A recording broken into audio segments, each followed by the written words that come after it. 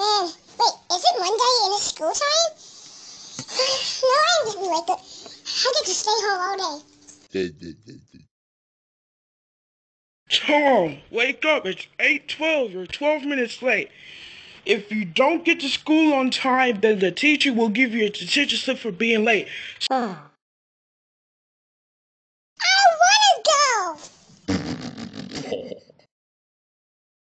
Tom, I cannot believe you want to sit down in this house all day without going to school. You're 12 minutes late. So go to school.